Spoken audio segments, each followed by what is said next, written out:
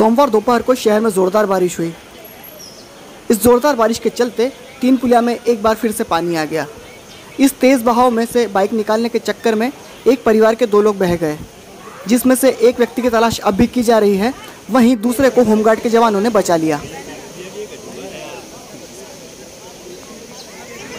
तीन पुलिया के बहाव में बहने वाले रविंद्र दोहरा निवासी नेपानगर को बचा लिया गया।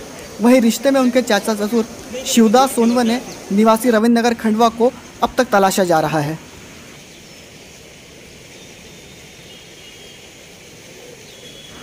इस घटना की जानकारी मिलने पर सीएसपी ललित गटरे और पुलिस बल मौके पर पहुँच गया।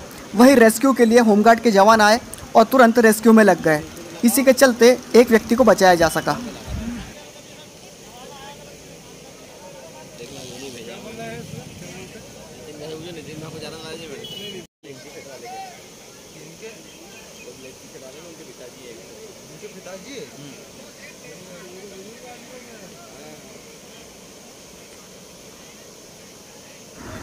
बारिश के बाद शहर की तीन पुलिया में पानी आ जाना कोई पहली घटना नहीं है।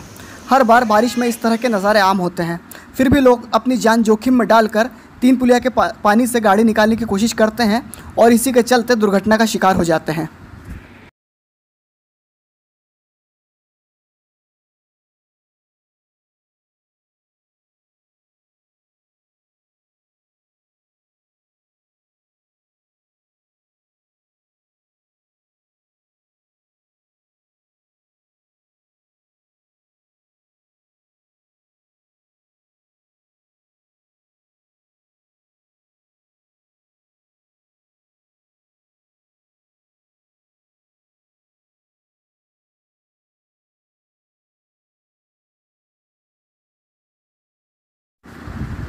खबरों को पाते रहने के लिए हमारे चैनल को सब्सक्राइब ज़रूर करें।